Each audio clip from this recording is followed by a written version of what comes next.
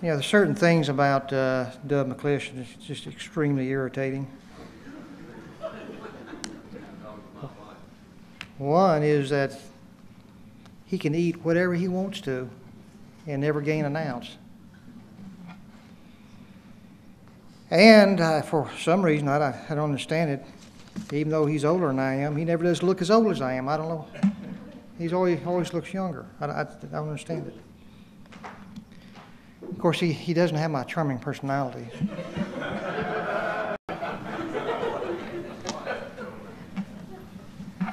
Dub has really been a force for good in the Brotherhood, he, even though a lot of them, a lot of people in the Brotherhood don't recognize it, but he's been a force for good in the Brotherhood for many, many years. And I pray quite often that it'll be many more years. But I do, I can count too. so, so, and I think he has a concern for those that are coming after him, that uh, they'll be able to carry on in the, uh, uh, you know, following the old paths as he has faithfully done all his many years. I think we as a brotherhood are much better for all the efforts that he has expended on behalf of the Lord. Again, there are those that don't don't appreciate that, but uh, I think those of us here who know him and love him I appreciate it very greatly. And I want to say too that uh, as much as I appreciate Dub, and I do greatly, I appreciate his good wife at least as much as I appreciate Dub. And I wish that uh, her health was much better than what it is now, because if it were, I'd have her do the proofreading instead of me. but uh, no amen on that, I, I can see. But we really do appreciate uh, having them both here. And we do wish them many more years of, of uh, service in the kingdom we will be better for it. And uh, I know, you know, that the uh, Lord, the kingdom itself will be uh, much better for it. So Dub is going to speak to us uh, tonight on what is the restoration principle, and is that principle Scripture? Is it authorized in the Scriptures? So Dub, speak to us. When does your buzzer go off? 40 minutes.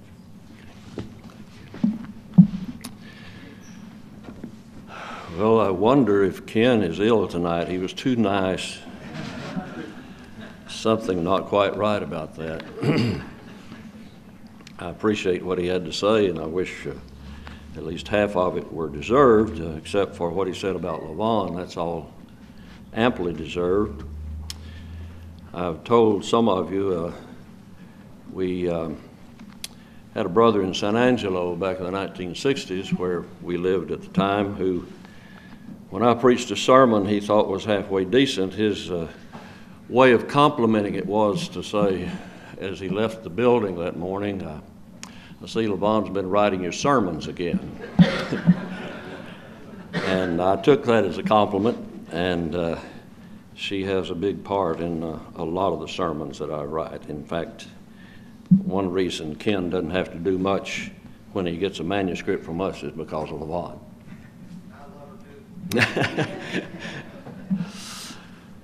we uh, are enjoying being at the uh, Roth B and B as usual. Uh, you might call it the B and B B and B, I guess. But they are so hospitable, and we uh, feel like we're family out there, and we deeply appreciate them. We thank you so much here at Spring for continuing faithfully and may uh, that have many, many more years. May it continue till the Lord comes. And your help with our work in a very uh, real and material way is greatly appreciated. I uh, know that I have only a limited amount of time to speak. In spite of all of the nice things that Ken said, he still has a timer in his hand, and so we need to get into our study tonight. It's an important study. And it's a twofold question What is the restoration principle? And is the restoration principle scriptural? The first one of these questions what is the restoration principle? I want to approach from a very uh, practical standpoint to try to illustrate it.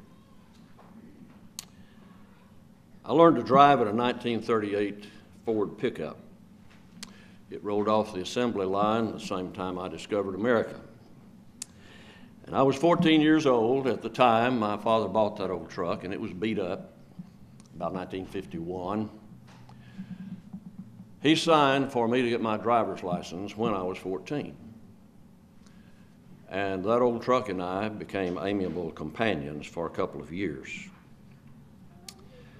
I liked it just fine. I've often thought, you know, it would be fun to find one of those old trucks and restore it.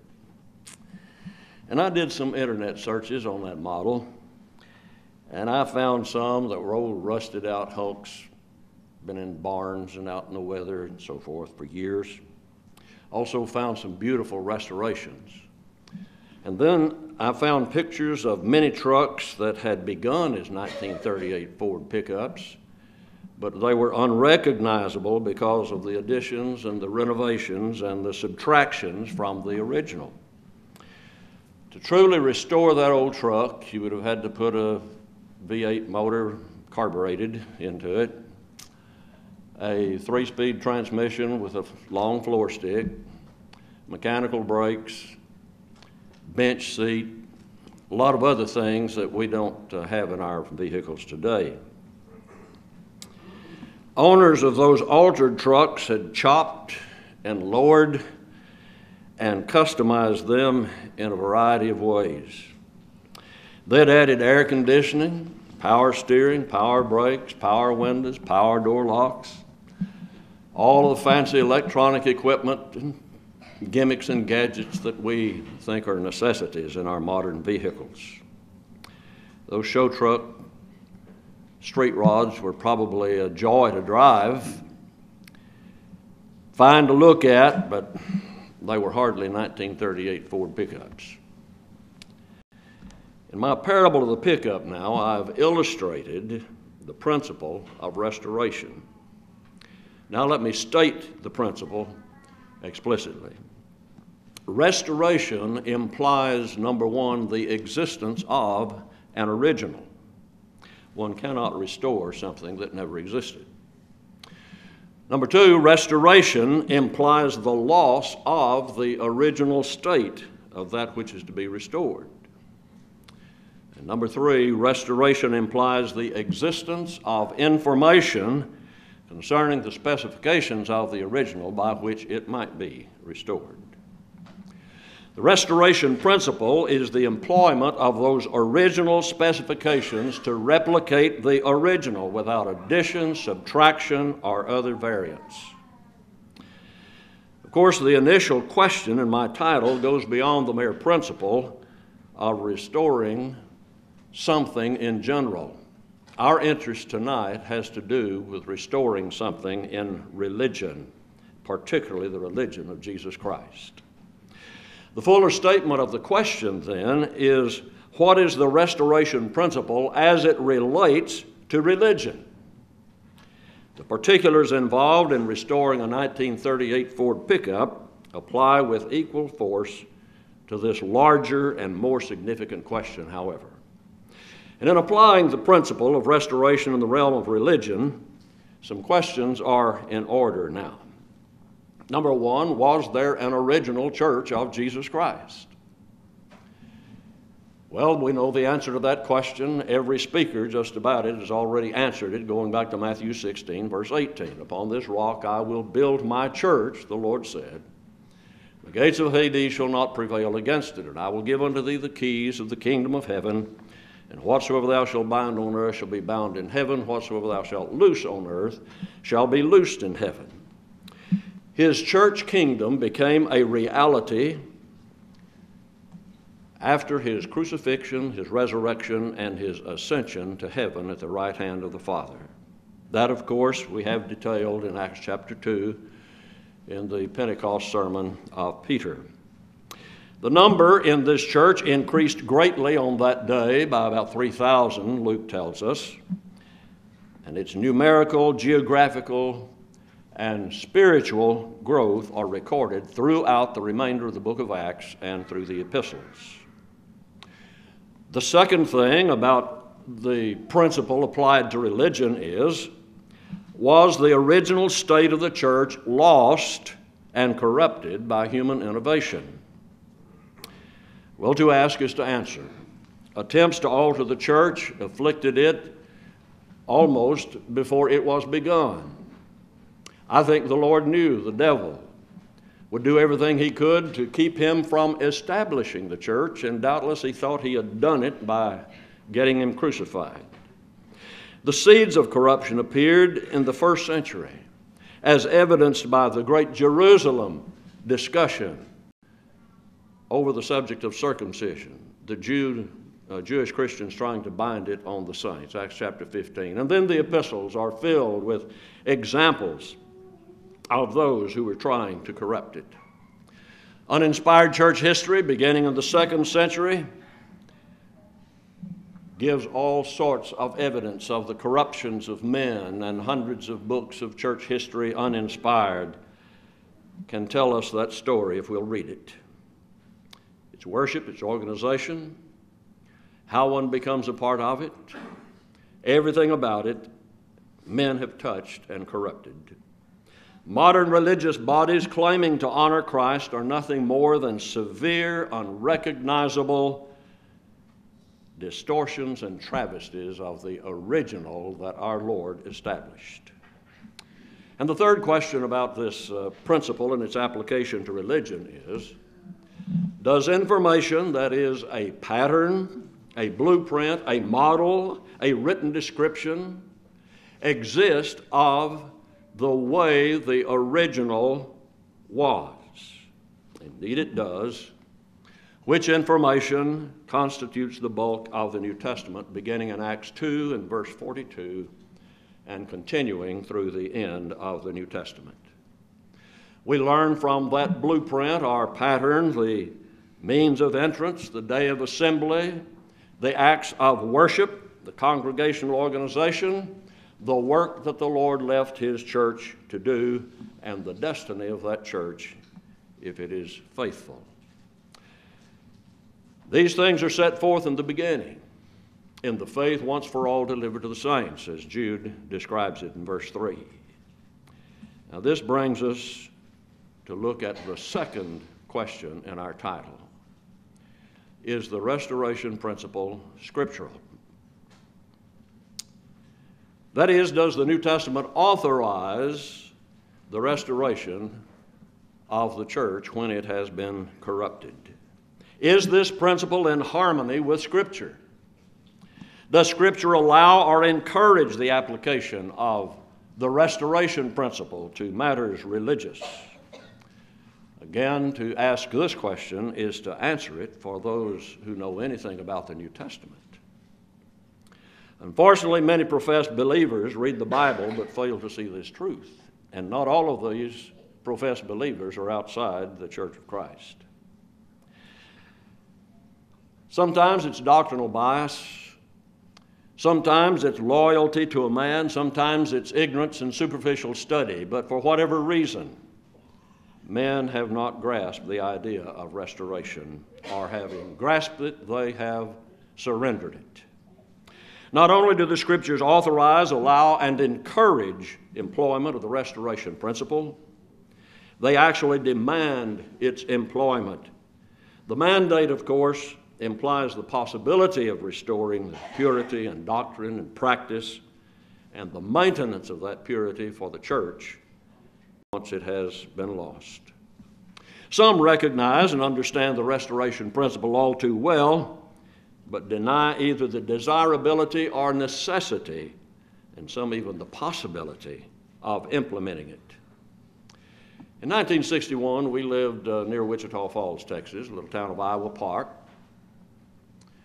And I would, from time to time, engage the local Presbyterian preacher. He was uh, about my age, or young 20s, in uh, some religious discussions. And we were talking one day, and I said, Boyd, don't you understand that we need the first century church? We need to restore the first century church. He said, No, Dub said, we don't need a first century church, we need a 20th century church. Well, little did I imagine at that time would the time would come when we would have a rather large number, an influential number within our own ranks who would be saying the same thing. Only they've changed the century. We need a 21st century church.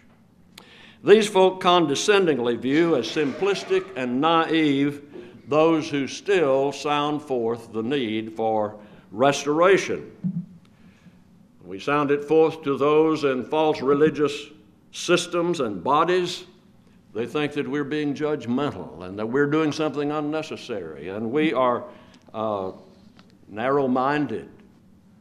We're trying to recreate the church of the 50s, some of them say.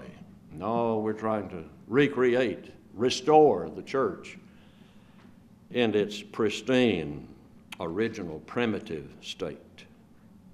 These brethren view restoration only as a never ending and never attainable process and pursuit. It's like those who started saying back in the 1960s, you cannot really know the truth. You can just always be searching for the truth and trying to find the truth.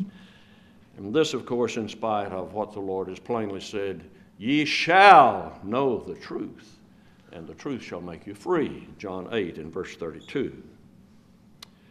Those who say that some of us claim to have restored the church labor under an illusion that we just think that we have restored the church. It really cannot be done. And most of the universities founded by our brethren to keep just such things as these from happening have been infested with those who are making them happen, saying that we cannot we should not make an effort to restore the church. Well, how do we substantiate the proposition that it is scripturally authorized that we restore the church when it has been lost to corruption? Let's look at the evidence. By no means all of it, but some of it. Let's go back to the Old Testament for some principles. What was the function of the prophets of the Mosaical age? When God gave the law to and through Moses, he demanded that Israel comply with it fully. After all, he gave ten commandments, not ten suggestions or recommendations. Moses' edict in Deuteronomy 4 and verse 2 is representative of scores, if not hundreds, of statements that set forth the same principle, though in different words. Ye shall not add unto the word which I command you, neither shall ye diminish aught from it, that ye may keep the commandments of Jehovah your God, which I command you this day. Moses warned Israel before they crossed the Jordan and entered into Canaan, which he was not privileged to do, that they must faithfully keep the law of God once they entered into Canaan. As Joshua, Moses' successor, neared his appointment with death, he warned God's people to, quote, keep and do all that is written in the book of the law of Moses, that you turn not either to the right or to the left. Joshua 23 and verse 6. They followed Joshua's charge, but only for a while another generation or two before apostasy became the norm in the period of the judges. There we have them time after time going through the cycle of apostasy, and finally they would cry out so loudly and repent, God would send a judge, and for a few years they would be faithful again, and then the cycle kept on repeating. Then came the kings following the judges. And with few exceptions, either before or after the kingdom divided, was there a king who was steadfast in keeping the law of God. Apostasy on every hand, God began sending prophet after prophet after prophet. This is what gave us the books of the prophecy in the Old Testament for the most part. They were God's attempt to call men back, to restore his true religion among his people of that era. Some of these prophets are unnamed. They were just godly and good men that did the work that God sent them to do. But it was God's work of restoration. It's what he was trying to accomplish through those prophets. Almost a millennium after the days of Moses, God stated the following to Jeremiah, one of the last of those prophets before God would give them up to the Babylonians, the kingdom of Judah, anyway. Jeremiah chapter 7, beginning with verse 25. Since the day that your fathers came forth out of the land of Egypt unto this day, I have sent unto you all my servants, the prophets, daily rising up early and sending them. Yet they hearkened not unto me, nor inclined their ear, but made their neck stiff. They did worse than their fathers. It is evident that God considered restoration of his Old Testament religion to be desirable, essential, and therefore possible and attainable because he mandated that restoration. He did all that he can without he could without absolutely taking control of the will of those people, which he limits himself from doing. One of those kings, an exception to all of those unrighteous kings, was Josiah, as we know. And his work and his uh, rulership, his domain, was the bright light in the kingdom of Judah. You can read of him in two accounts 2 Kings chapter 22, 21 through 23, actually, and 2 Chronicles chapters 34 and 35. He's called the restorer king, and for good reason. He found the original, uh, religion of God in shambles. He found the temple all corrupted and broken down and deserted. And he determined that it would not so continue. Now, had liberal brethren been around when he reigned, they would doubtless have made great sport of Josiah's efforts, even as they do those today who insist on restoring the original. It's not difficult to imagine the way they would have ridiculed righteous Josiah. Attack and destroy the false religions. Publicly commit yourself to obeying God's word. Clean up and repair the temple and reinstitute, uh, reinstitute the Passover. Who do you think you are? Your fathers never attempted to do this. Don't you know you'll be opposing the whole nation? And don't you understand how extreme and radical your plan is?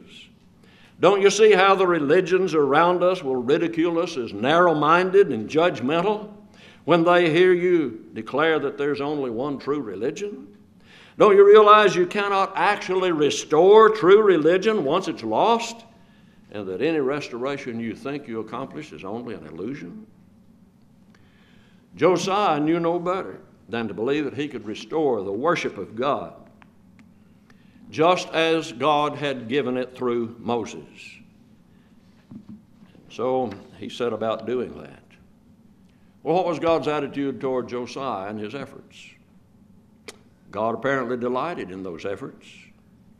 At the beginning of his reign, we read in 2 Kings chapter 22 and verse 2 And he did that which was right in the eyes of Jehovah, and walked in all the way of David his father, and turned not aside to the right hand or to the left.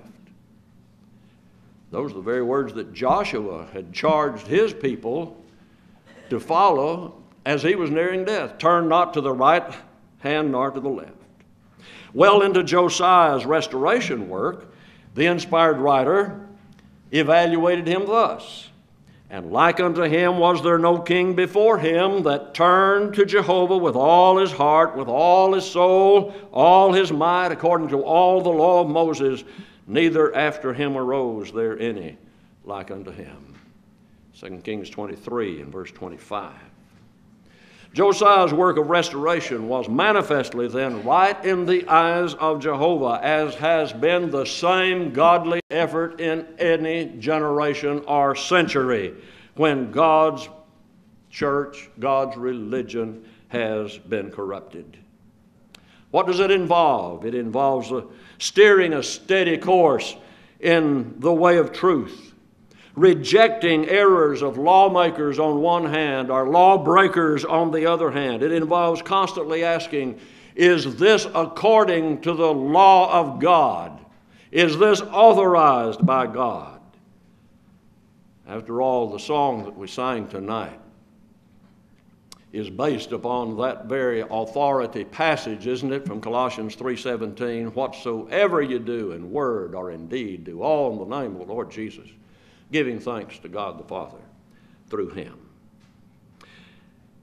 If true religion could be and was restored almost nine centuries after God gave the law through Moses, then true religion, as established by Christ, can and also ought to be restored centuries after his church has been corrupted by philosophies and traditions of men. And God will always have it so. But let's notice the fact that God is a God of patterns. Perhaps the only thing liberals, especially in the church, despise more than the concept of being called narrow minded or afraid that someone will call them narrow minded is the concept of patternism, as they call it. Pattern theology, they refer to it, or referring to us as patternists. However, they make sport of God's Word when they do that. They don't just make sport of us. God's Word contains patterns, it has from the beginning. God had a pattern for Adam and Eve in the garden. He had a pattern of worship, as we learn from Cain and Abel. Gave Noah a pattern for the ark. The Old Testament system, of course, given through Moses, is literally filled with patterns, scores of them. It's made up of them. The Hebrews writer asserts this fact in calling attention to the tabernacle pattern in Hebrews chapter 8 and verse 5. Relating to the Mosaical priesthood, he said of those priests that they serve that which is a copy and a shadow of the heavenly things, even as Moses is warned of God when he is about to make the tabernacle. For see, saith he, that thou make all things according to the dirty word pattern that God showed thee in the mount. Well, that's a direct quotation from Exodus chapter 25 and verse 40. For God did so charge Moses in the midst of giving him all of the intricate details for the tabernacle, its furniture, and all of the appurtenances. This passage refers to that detailed blueprint very obviously. The mention of the tabernacle to these Hebrew Christians, however, is not to entice them or instruct them to recreate another tabernacle like that old tabernacle. Contrariwise, he mentioned it to further his argument to these Jewish brethren on the verge of deserting Christ to go back to Moses, from whom they had escaped, that they dare not do it. And so he uses the tabernacle of the old to make an argument concerning the new. Throughout most of this epistle, one finds the running argument that Christ, the gospel, his way, the New Testament are vastly superior to that of the Mosaical covenant, and that they are actually the fulfillment of that which had come before. The statement in Hebrews chapter 8 and verse 5 is an important part of the author's argument in the Hebrews letter. We may frame it in a familiar if then formula. If God had a pattern for the inferior institution, the tabernacle, the priesthood, of the law of Moses, which he did, Hebrews 8 5, then it follows that he has a pattern for the superior institution, which is the church and the law of Christ. The argument is from the lesser to the greater. And it is a powerful argument. The writer immediately states in verse 6 of Hebrews chapter 8 But now he, referring to Christ, hath obtained a ministry the more excellent, by so much as he also is the mediator of a better covenant, which has been enacted upon better promises. It is neither logical nor biblical to conclude that God had an unalterable pattern for the lesser institution, but Jesus allowed men to just construct his superior institution, the church, any way they wanted to do it. The Hebrews letter also emphasized the, God's commands for his people under the New Testament were just as strong that they must keep it as they had been under the old. Read chapter 2, verses 2 and 3.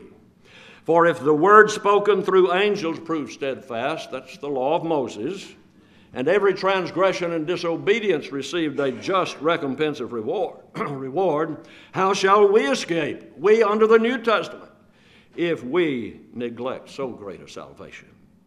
And then again in chapter 10, verses 28 and 29.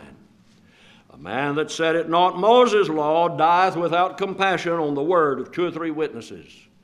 Of how much sorer punishment, think ye, shall he be judged worthy, who hath trodden under foot the Son of God, hath counted the blood of the covenant, wherewith he was sanctified an unholy thing, and hath done despite unto the Spirit of grace.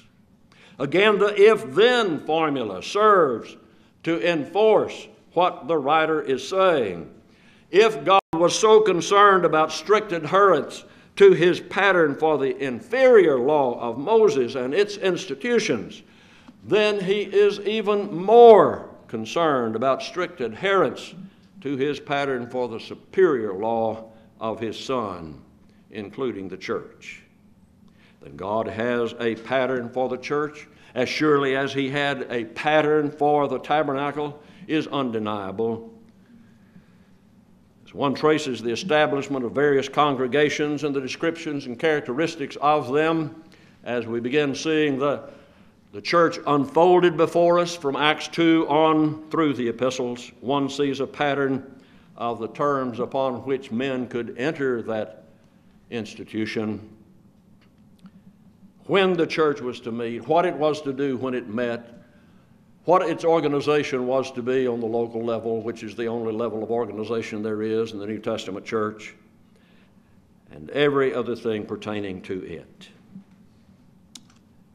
And so, the restoration principle is scriptural because God is a God of patterns. And when the pattern has been uh, departed from, corrupted, the original can still be replicated. Then there are the implications of personal restorations. By that I mean an individual can be restored. When brethren stray from the Lord's way, it is desirable, necessary, and possible, at least in some cases, to restore them. This is so unless one wants to advocate a once an apostate, always an apostate, which is a peculiar twist on uh, perseverance of the saints that uh, Calvin came up with. Restoring fallen brethren is desirable for many reasons. Most of all, restoring the fallen is necessary if that one is to be saved who has gone astray. We're therefore commanded to do our best to restore those who go astray.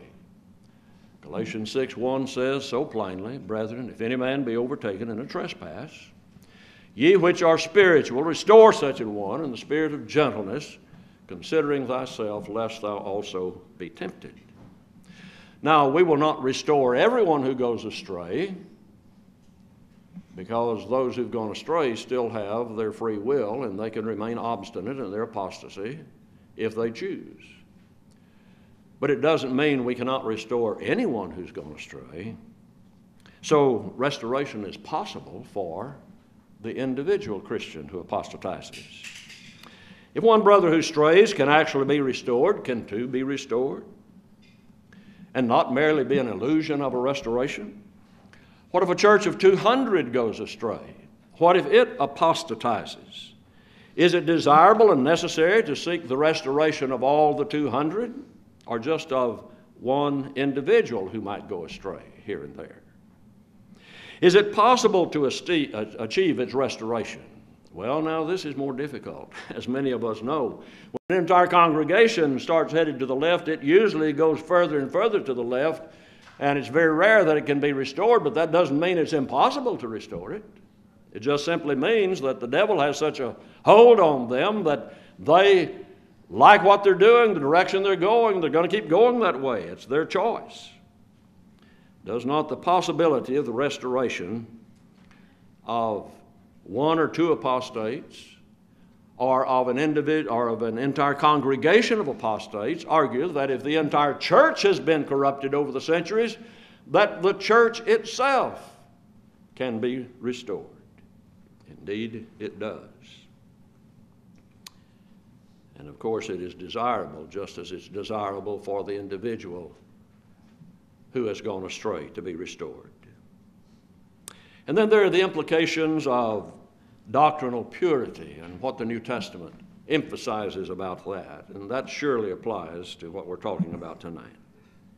If restoration is unnecessary or if it's uh, impossible, what is the purpose of the relentless emphasis of the New Testament on being faithful to the truth? of continuing in the sound doctrine, of submitting one's will every day that we live to the will of Christ. The incessant emphasis on strict adherence to the Word of God and the numerous warnings about departing therefrom all argue the restoration of men who go astray in religion. Those baptized upon believing the gospel were to be taught all of the Lord's commands, not just some of them, in that first generation and to the end of the world. Mark 16, verses 15 and 16, and Matthew 28, verses 19 and 20.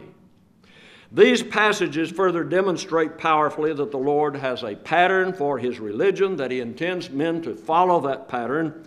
And if the foregoing is not plain enough, Paul's instruction to Timothy should be. In 2 Timothy 2, verse 2.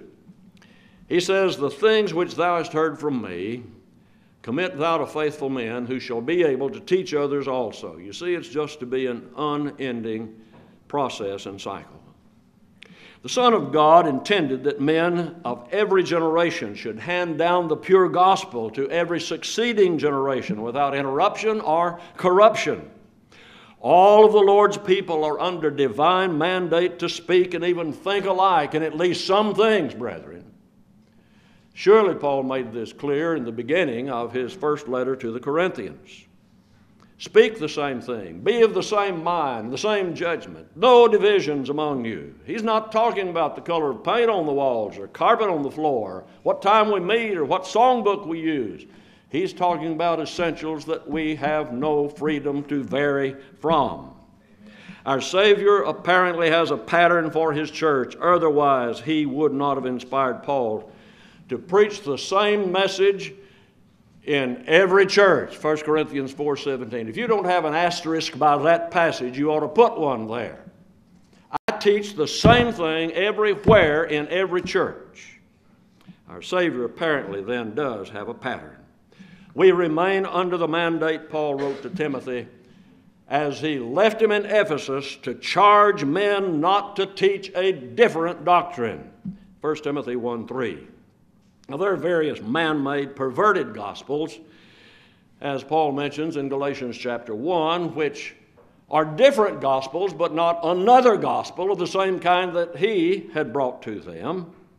And whosoever he be, angel, apostle, or any other man who preaches you a different gospel, or you receive a different gospel from, is under the curse of God. It is not only possible to recognize and be obedient to the faith as a great company of the priests were in Jerusalem, Acts chapter 6 and verse 7, but we must also contend earnestly for the faith, the entire body of gospel doctrine. Jude verse 3. And then there's the seed principle. In his parable of the sower, Jesus likened the heart conditions of various men to various kinds of soil. Luke chapter 8.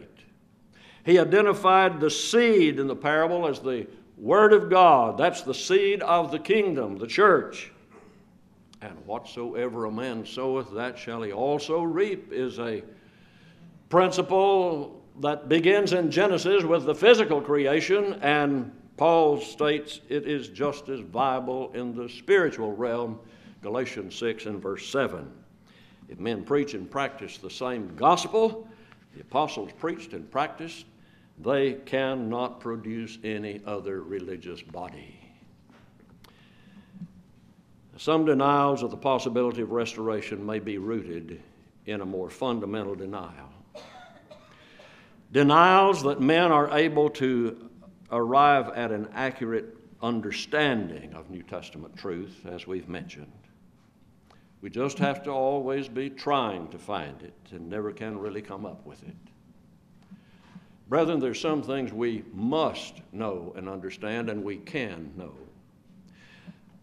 Does any human being know everything? No, not at all. But there are some things that we can know and must know. What did Peter say on Pentecost? Read it in verse 36. Therefore, let all the house of Israel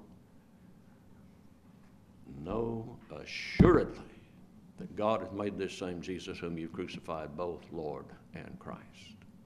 Poor old Peter, he just didn't know any better. It may be, however, that anti restoration liberals very well know that men are capable of understanding the meaning of God's Word and can arrive at true conclusions regarding it. In line with their denominational compatriots, though, they have decided that God does not mean what He says. This being so, their contention that it is impossible to restore the church is merely a camouflage claim. Behind that mask, they understand the word all too well. Their real conviction is it just doesn't matter. That's why some of our brethren have decided that there's not any real hell. God just didn't really mean that about fire and brimstone and torment and eternity and that sort of thing regarding the sinners. But the restoration principle is nothing more, really, brethren, than faithful fulfillment of what we call the Great Commission. To go into all the world, preach the gospel to the whole creation. If we do that, we'll keep the church restored, be faithful. Go and make disciples of all the nations, baptizing them, teaching them to observe all things whatsoever I have commanded you. That's how the church became corrupt. Somewhere along the line there, second century, somewhere along there, brethren started not teaching all things that the Lord had commanded us. And so the church was lost for all practical purposes. What is the restoration principle? It's preaching and being faithful to the Word. Is it authorized? It's not only authorized, it's mandated. Thank you.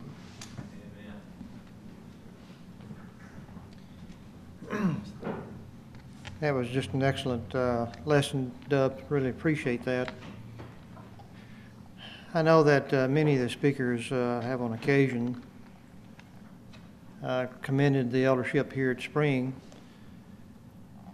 Yeah, whether it's deserved or not is uh, really not the issue. I think it's uh, more the fact that that you appreciate an eldership that will stand behind, support, and if necessary, stand in front of those who uh, boldly proclaim the truth.